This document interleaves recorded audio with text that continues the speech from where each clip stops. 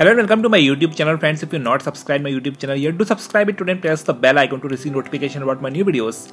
In this video, we will try to address a Windows security blank issue which appeared on version 23H2 after some updates and recently a lot of users complaining with this error and uh, when they open Windows security they see your IT admin has limited access to some areas of this app and the item you tried to access is not available contact the IT help desk for more information. And we already created a video to fix this issue uh, that is based on Windows 10 so you can check out that video on this card. But now since this issue is due to a bug on Windows 11 23 H2 our previous fix doesn't work on that. And that is why I'm creating this uh, brand new fix.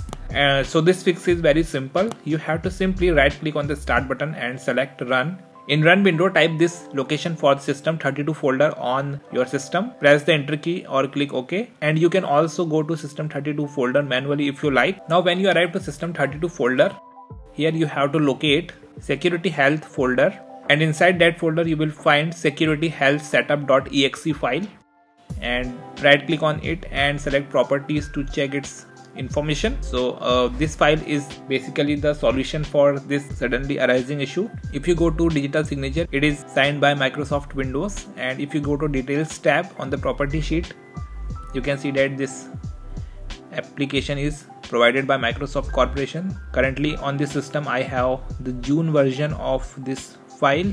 And uh, we'll close the properties. And again right click on this security health setup.exe file and select run as administrator.